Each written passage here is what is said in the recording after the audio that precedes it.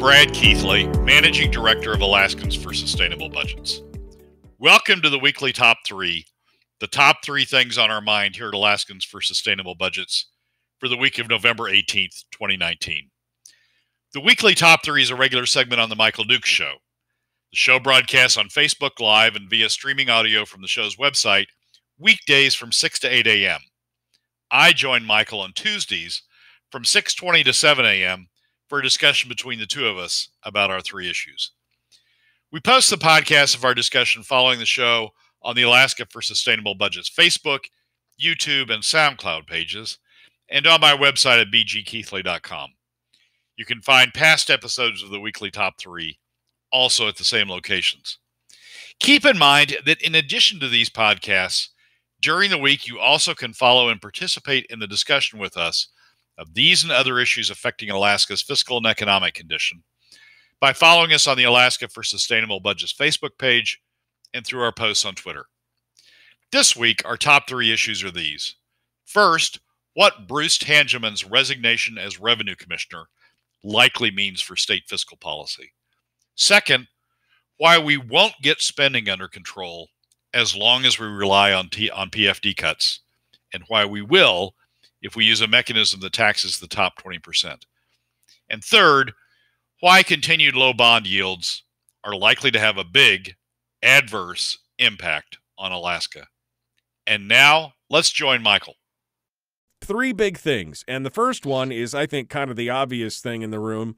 Uh, and that is, of course, the departure of Bruce Tangeman uh, as Commissioner of Revenue. And he went out uh, with this opinion piece on his way out uh, and the thing that caught my attention on the opinion piece is the comment in there that say, said basically that uh, you know that any taxation issue is going to have to be is going to have to go through his department. His department would be at the heart of it, and he wanted the governor to have somebody who is hundred percent aligned with his vision.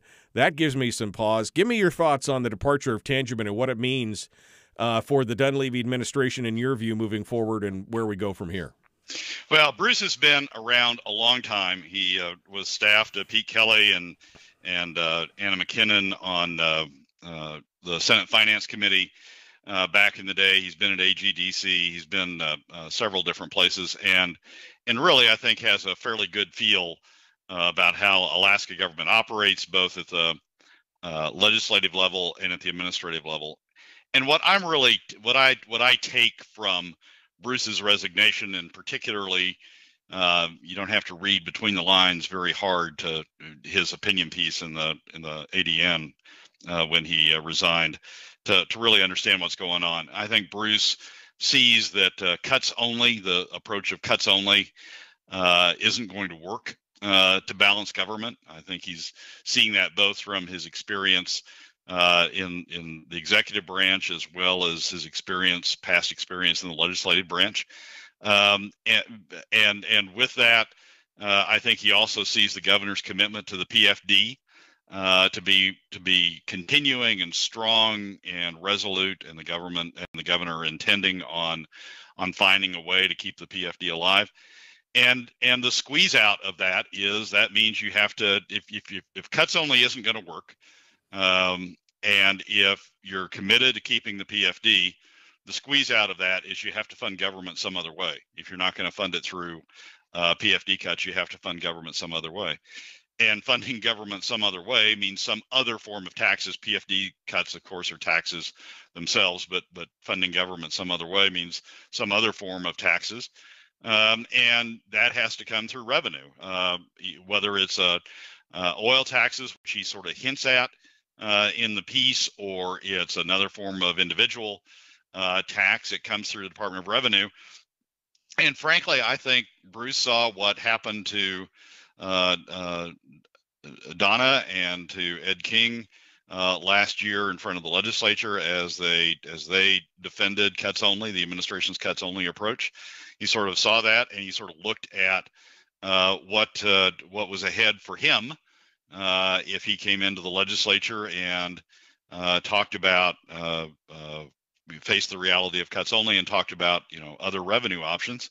Um, and he decided it was time to pull the parachute. that that life was too short uh, to go through that sort of thing.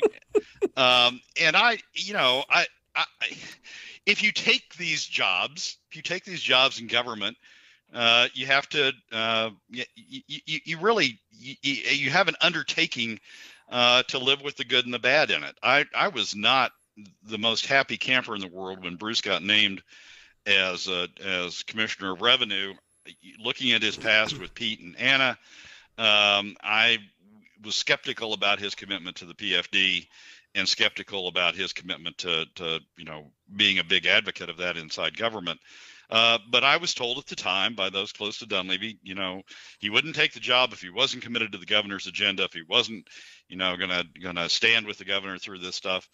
Um, and I, I, I, frankly, I'm a little disappointed to see, you know, Bruce having taken the job, sort of pull the parachute at the time when the when it's the revenue commissioners, it's going to be the revenue commissioners turning the barrel.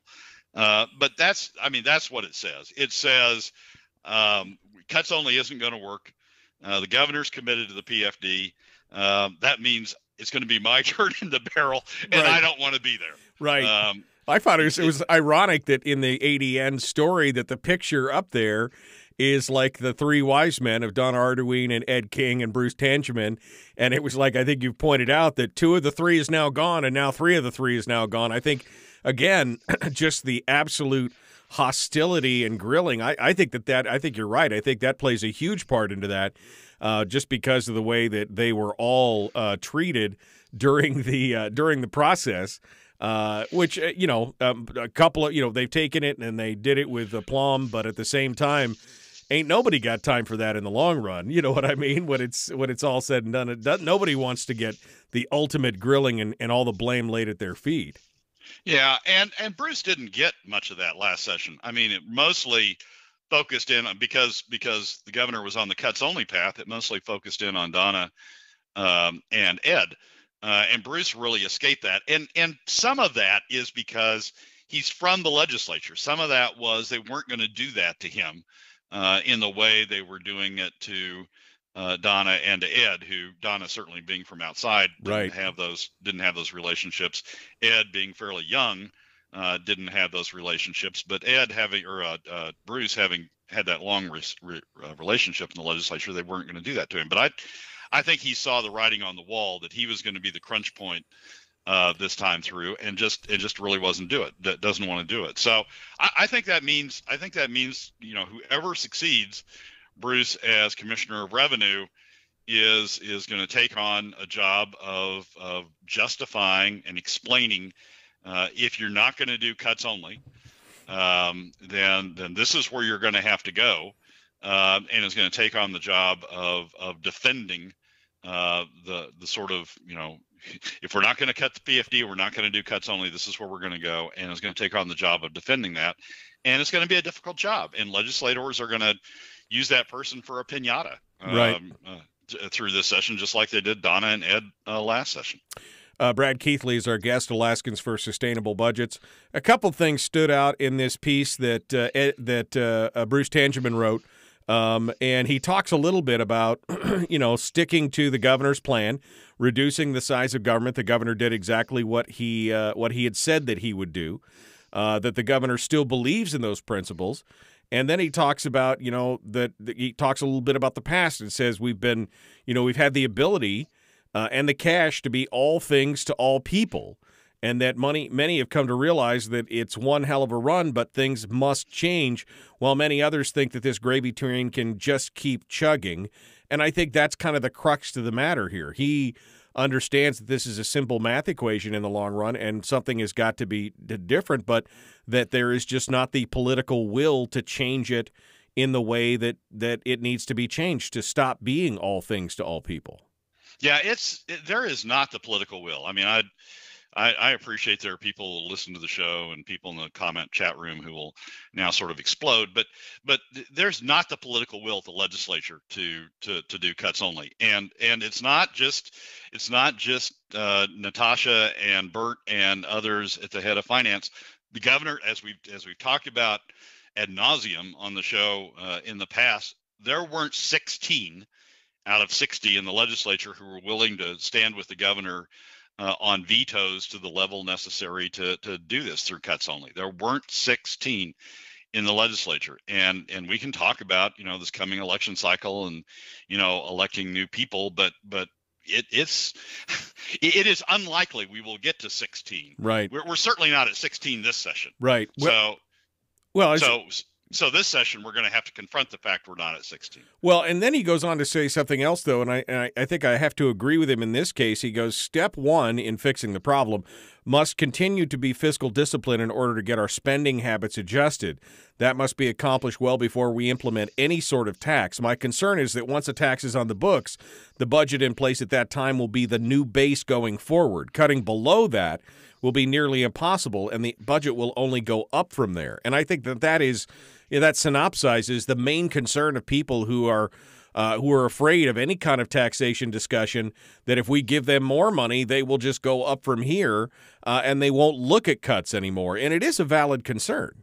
Well, but Michael, I, we already have we already have taxes. I mean, that's what PFD cuts are.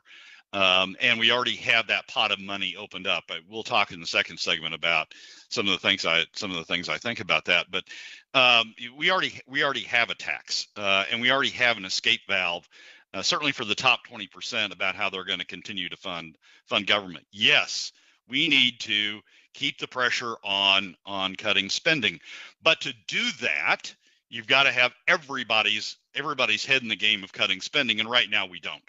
Uh, the top 20% don't have uh, uh, any reason to really spend political capital on cutting spending. They can talk about it. They can, you know, put out, you know, great grand visions about how they're going to cut spending. Uh, but at the end of the day, they're not going to spend political capital uh, on cutting spending because they don't have to pay for it. Right. Uh, and they don't have to pay. They're not going to have to pay for it for quite a while. And until we get everybody's head in the game about cutting spending, that's not going to occur.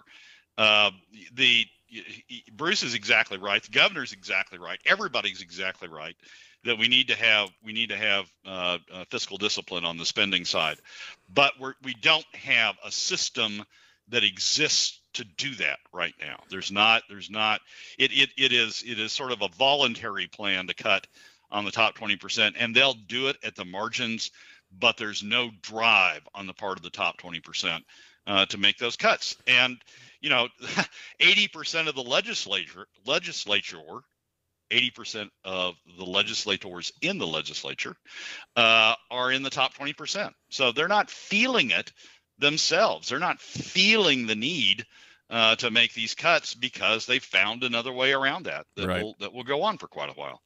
Uh, Brad Keithley, Alaskans for Sustainable Budgets, you're talking about the top 20%, which seems to be a natural segue into number two. But I do want to quickly synopsize the, the departure of Tangeman. Care to tell me what you think this means for the budgets coming up in this? What does this tell you about the upcoming budget cycle? Do you foresee the governor just flat out coming out with some form of new revenue in the budget itself, or what? What? What are your thoughts here?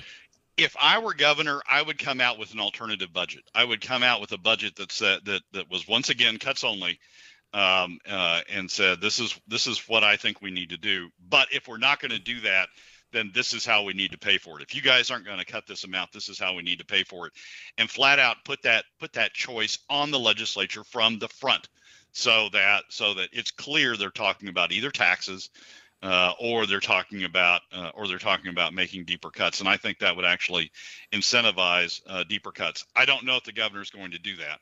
I think what bruce's resignation means more uh, is about is about his view of what the legislature is doing this coming session. And i think his view is that, that the legislature is not going to make the cuts. That's going to increase that's going to create the need for some form of revenues. The governor is going to continue to say uh, that we're going to preserve the PFD and he's not going to cut the PFD.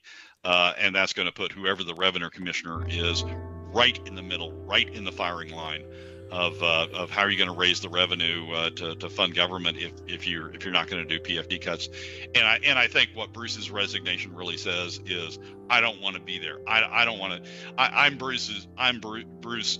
I'm young enough to have to have aspirations to do other things in government in the future, and I don't want to be the one that gets you know my myself killed.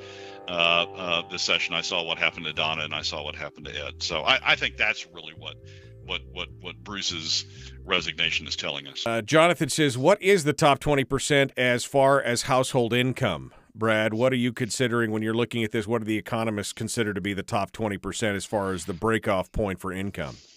You know, I'm going to look that up right as we're talking. My my my quick recollection is about 125,000 household income. Yeah, I was going to say uh, is is what ITEP uses, but let me look that up as we're talking. James says the governor's plan last year w- was not a cuts only approach, as it contained uh, SB 57, which repatriates approximately $439 million of funds supplanted by organized areas taxing the pipeline. For perspective, this amounts to uh, this amount of dollars is over twice what Walker's income proposed income tax was. This sparsely populated organized areas, which take the lion's share of the 439, are padding the separate permanent funds of the North Slope Borough and Valdez. He says it wasn't a cuts only approach. Um, which I mean, I guess it could be argued in that direction, but at the same time, uh, you know, even even with those, even taking those cuts out, it never was never going to reach an even balance point anyway. It was just a start. Yeah, that that's about that was about 400 million out of a 1.3 billion dollar um, uh, deficit. Uh, the governor was going to offset the 1.3 with 900 million dollars plus or minus uh, in cuts and 400 million. But but but that that revenue side uh, is a was a complete non-starter. It didn't even get a hearing in uh, in either uh, legislative body. ASRC, which had been a big supporter of the governor, reversed and and and came out blasting the governor as a result of that. It's it's a it's a I mean basically what you're saying is we're going to take a lot of money from from uh, the North Slope Borough, from uh, the Fairbanks North Star Borough, and from the Kenai Borough. Uh, and we're going to give that to, to the state, and the state uh, can then spend it. Um, and that sort of leaves the those boroughs then with uh, with sort of a hole in their budget. Um, right. So it's, I mean, it's it's yeah, yeah. The governor did come up with 400 million dollars that way, but it was a non-starter, and so what you were left with was uh, was cuts only to to get to the get to the spending levels that uh, that the governor proposed. What is the top uh, twenty uh, percent, Brad? Did you get a chance? It is one hundred and fifteen thousand dollars family income, according to one hundred fifteen thousand and up family income, household income, according to uh, the ITEP study, the 2017 ITEP study. Yeah, which I think actually puts higher than 80% of the legislature. I want to say it's closer to something like 95% of the legislature is top 20% or more. I think there's only like three or four legislators that make less than a hundred thousand bucks a year. Yeah, it's. I mean, legislative salary itself is like sixty thousand. So even if you only have, or sixty-five thousand. So even if you only have, uh, even if that's your only job, you're well on your way there. Uh, if your if your family, if the household income uh, from investments or from other things add to that, I, I I did an analysis of the of the legislature and I came up with eighty percent using that uh, using the hundred and fifteen thousand dollar figure, but you know it it could be uh, it could be off one way or the other. Right. Um, we're coming down to it here. Uh, we got about two minutes here left. Um, income tax is a starter for this legislature, and we have a governor that's going to sign it. Says James. I don't think so. I mean, I don't think that the governor. Uh, I, I don't think that's what the governor wants. Quite honestly. Uh, but the problem is, obviously, there's there there is no will to to uh, put the cuts in place that need to be done. As Brad has pointed out, 16 couldn't stand with the governor on a lot of these smaller cuts. I mean, for God's sakes, we we we put money back into the Arts Council, hundreds of thousands of dollars back into the Arts Council of all things. Uh, I mean, if that if that's not an indicator of political will, I don't know what is. Yeah, we've got. I mean, the revenue's got to come from somewhere. Somebody's going to get taxed. It's either going to be through a PFD tax or it's going to be through a tax on future generations by by spending down the earnings reserve and reducing the the the investment fund that's there to generate returns for future generations or it's going to be a tax on on the current generation. Frankly i think it ought to be a tax on the current generation. I think as we'll talk about in the segment upcoming uh, i think that's what's going to motivate that that's what would best motivate behavior. Uh, but there's going to be a tax on somebody. It's it's not going to be we're not going to get out of this scot free. There's no, there's no, you know, the the oil price cavalry isn't coming over the hill. Frankly, the cuts only cam- cavalry uh, isn't coming over the hill. We're not going to get out of this scot free. Brad Keithley, Alaskans for Sustainable Budgets. Uh, just looking at the last couple questions here. Um, tax equals pay cut, cost of living increase, and revenue loss mechanism all in one swoop. Uh, and again, without the without the backing of uh, of of a cuts only crowd, which I mean I would love to see, but without that backing, we're just not going to see you know that go anywhere. It will just I think at this point, it's going to lead to more gridlock. The only thing that's going to change that is a changing of the players. And that is the only thing that we can hope for in this next election cycle, even if we have a stalling tactic for this next session, is a stalling tactic of uh, before we get into the election season. That's what we're going to have to look for. The second of the weekly top three was why the fact that the top 20% isn't contributing to the cost of state government actually matters. Brad Keithley, our guest, returns to discuss that. Brad, uh, number two. Well, I, I, I took a look at um, at, at, some numbers that sort of uh, uh, presuppose that we don't have uh, a tax on the top 20%, that we continue to use PFD cuts, and sort of analyzed where, where that where that leads us. We've got over the course of the next 10 years, the projections are we will have about 2.1 billion per year uh, in, in under the stat under the current statute that would go to the PFD. Some people appear willing to to to let, sort of ride down the PFD, let the legislature continue cutting the PFD as a way of of funding government, um, and and let that continue, and and going down that road uh, just just ensures that cuts serious cuts won't happen. The reason is this. Uh, the top 20% are, as we were just discussing, is is by far the majority in the legislature. They are by far the majority in the donor class, if they don't feel the impact of of funding government, if they can if they can shove the the the funding of government off on PFD cuts, and they don't feel the impact of of government uh, of, of of having to pay to to support government, then they're not going to spend the political capital it takes to to achieve cuts only. They will continue to to give uh, lip service to to the, the the the the effort to cut to, to, cut spending, but they will not spend the political capital it takes necessary to push back on the unions, uh, to push back on uh, social services to push back on uh, people like the Rasmuson Foundation that continue to want uh, government spending to push back on the on K through 12 to push back on the university. They won't spend the political capital to do that. They will simply say, "Well, we know we should be cutting government, or we know we should be doing this, but uh, but the PFD." was there all along to help fund government. We'll just take another chunk out of the PFD uh, and and and continue to fund government that way. The PFD is like a, is like is a is like a two billion dollar uh, slush fund.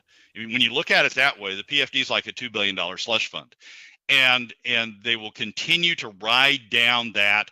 Uh, ride down that slush fund. What in their view is a slush fund. They'll continue to ride down that slush fund to continue to continue funding government.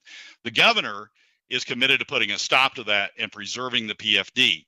But if he can't get 16 in the legislature uh, to uh, to agree to a cuts only agenda, uh, then that's not going to happen. They will just continue writing down uh, writing down the PFD. It would be different if we had a tax that a, tax approach, and the PFD is a tax. It's a tax on middle and lower income Alaska families. It would be different if we had a tax that reached the top 20 percent. Um, and if we did, if the top 20% had to pay a share, their share uh, of of the cost of government, their reaction would be different. Writing it down on the PFD, they don't they pay hardly anything uh, uh, in terms of the cost of government. It all gets shifted to middle and lower income Alaska families. If we did a flat tax or some other form of tax that reached the top 20%, they would pay an increasing amount of their income uh, toward the cost of government. If, for example, uh, uh, at the level of a billion dollars in PFD cuts, which is about what we had uh, last year, to fund that through a flat tax would be would be four percent of adjusted gross income. And if you had the top 20%, if you had Natasha uh, and others that had to pay 4% of their adjusted gross income toward the cost of government, they would have an entirely different attitude, uh, in my view, about about those costs and bringing down those costs uh, than they do currently. The, the the the concept that we're just going to ride down the PFD, the concept that some people have that we're just going to let to continue to ride down the PFD we're going to continue to talk about cuts only, but at the end of the day, the, when the legislature doesn't do that, we're just going to take it out of the PFD. That concept, in my mind, ensures that we're not going to have any significant level of PFD cuts because the people who who could make the PFD any significant level of spending cuts, excuse me, because the people who could make the spending cuts happen the top 20%, the people who are in charge of the legislature, the donor class that that that has a huge influence uh, on the legislature, the people that that could make those spending cuts happen aren't going to do it because they're not feeling the impact and they and they're not going to spend their political capital uh, to make it happen as long as they can dodge it. We keep hearing this discussion of a sales tax, and uh, you actually laid out this chart that uh, I have posted up in the chat room for people who want to see it. But you're talking about the amount of revenue per year, and if you go all the way up to taking essentially 100% of the PFD, which uh, Ed King has laid out as a distinct possibility if we move forward with this and we just keep uh, business as usual going on in the size and scope of government, they will consume essentially all of the PFD within just a couple of years. You're talking about to try and offset with something like that by sales tax, something like 23 percent uh, of a tax would have to be levied to be able to do that. So I mean the the, the like you said, the PFD has become this juicy slush fund, two point one billion dollars that they just see as basically their piggy bank. They've already burned through 14 billion on the other side. 2.1 billion dollars a year seems like a pretty good deal for them. It does. I mean, so so they get to act.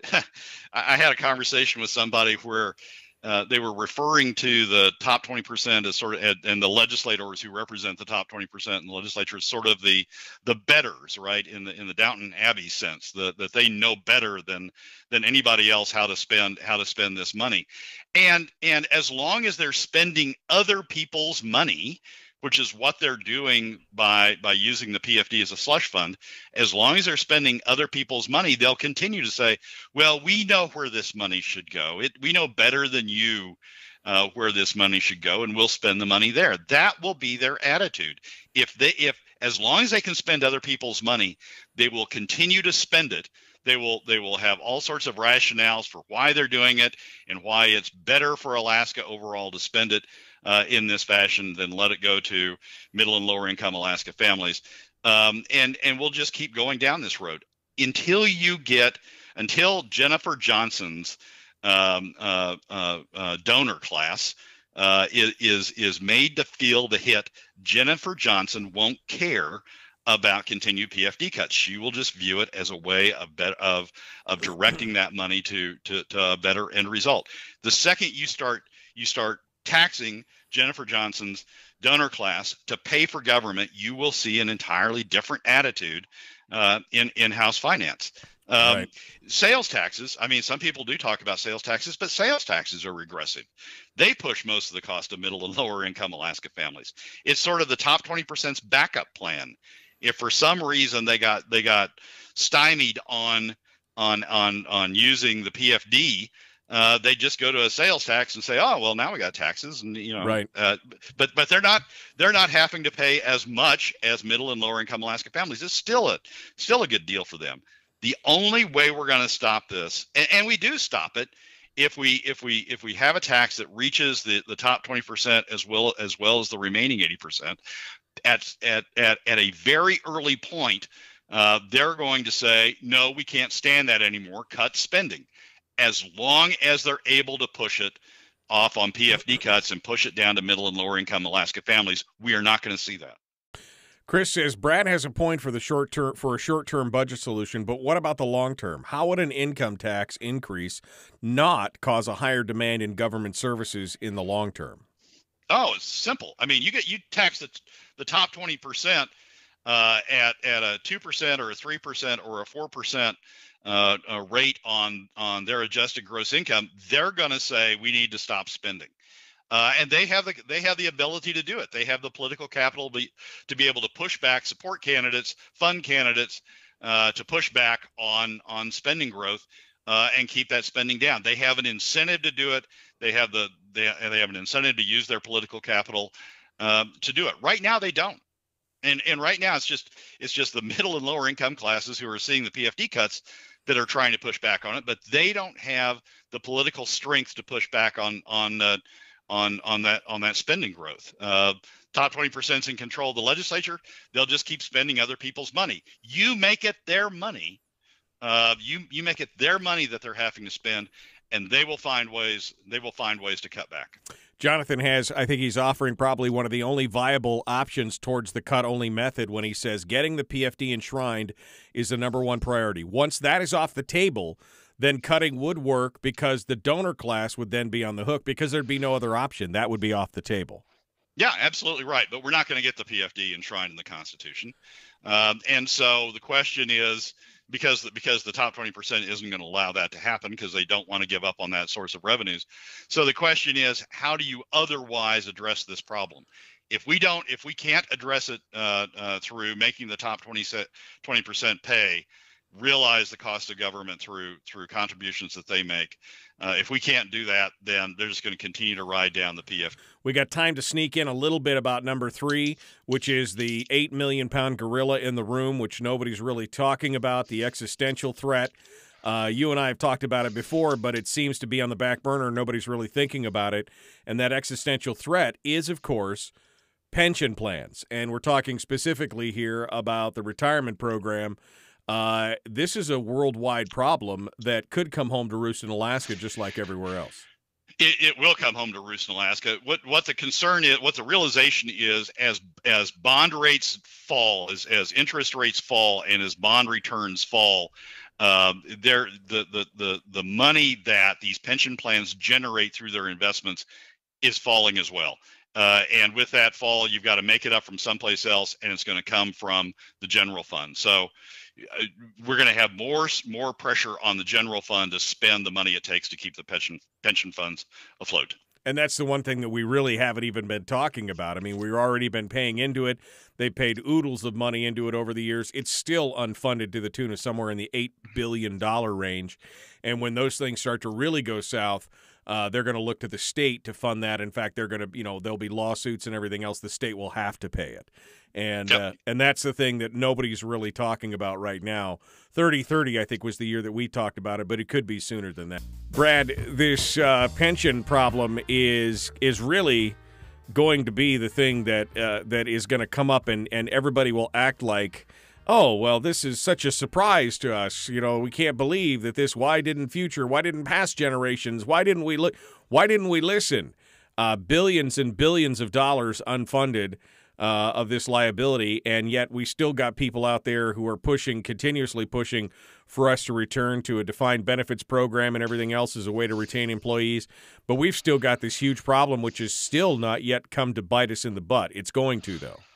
Yeah, exactly right. I mean, the pension, the, the, everything in the budget is sort of controllable in a way, except for the pension uh, payments. And the pension payments are rising at something like six or seven percent per year, as it is based upon the assumption that the that the existing pension fund is going to earn a, a, six or a seven percent rate of return uh, uh, on an ongoing basis and generate that income off their investment to sort of fund the pensions that way, in addition to the in addition to the, the contributions that, that are coming from the uh, from the the spending side. The problem is here it, there, there's nothing there's nothing in life that doesn't affect something else so as as the fed and as the president and as as uh, as as forces in the world have pushed interest rates lower and lower and lower uh, the returns being generated uh, by uh, pension funds have gone lower and lower and lower and the expectation that they would generate a sufficient amount of funding out of their existing uh, existing principal um, uh, and a, a, sufficient amount of funding to pay off the pensions is is is evaporating. The consequence of that uh, worldwide, but but brought down to Alaska, the consequence of that is is it has to those those failed expectations, the, the failure of the of the pension funds to grow through investments, has to be supplemented then by increased funds coming out of the the spending side, out of the out of the legislature side, uh, over into the pension funds to keep them whole, to keep them capable of uh, of, of, meeting their obligations uh, going forward. And we already we already are in a hole uh, on the on the spending side in terms of pension funds. We have a, as I say, the the spending is growing at the rate of six or seven percent uh, per year uh, in order to make up the hole that's over on the pension side in the first place. you um, don't uh, uh, have that sort of growth going on in the pension funds, you've got to increase what's coming out of the out of the spending side, out of the legislature side, uh, to continually try to catch up and keep that hole uh, patched up on the on the pension fund side. And so that's just I, mean we're as as you see this problem evolving or un, unfolding in the world generally, we've got a very serious problem ourselves uh, that grows up on that side. One other uh, small piece of that is is the lower interest rates. Uh, uh, people are suggesting that that results in lower returns, overall returns going forward. It has an effect on the equity markets as well, and equity returns come down. If that's the case, then the permanent fund returns, the returns on the permanent fund that people are counting on to fund government and fund the PFD, are going to go down as well.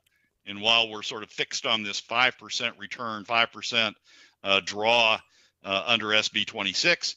Uh, that's assuming that that the that the permanent fund returns, the real rate of return on the permanent fund continues at around uh, that rate. If that if that realized real rate of return goes down, then then the returns from the permanent fund, the the uh, the input from the permanent fund. So we we could be facing a, a situation in which we're getting hit from the spending side, the need for increased funding to come over to to plug the gap on the on the on the PERS and TERS amounts so we're hitting getting hit from the spending side, and we could get hit from the revenue side in terms of reduced returns coming from the permanent fund. It's it it is it is a world crisis that that has very serious implications at home, uh, and and sort of the world's waking up to it now. We sort of need to be factoring it in from the standpoint of of our state government as well.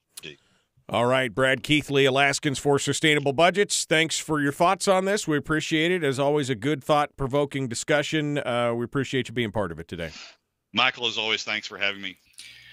Well, that's a wrap for another week's edition of the weekly top three from Alaskans for Sustainable Budgets. Thank you again for joining us. Remember that you can find past episodes on our YouTube and SoundCloud pages and keep track of us during the week on Facebook and Twitter. This has been Brad Keithley, Managing Director of Alaskans for Sustainable Budgets. We look forward to you joining us again next week on the Weekly Top 3.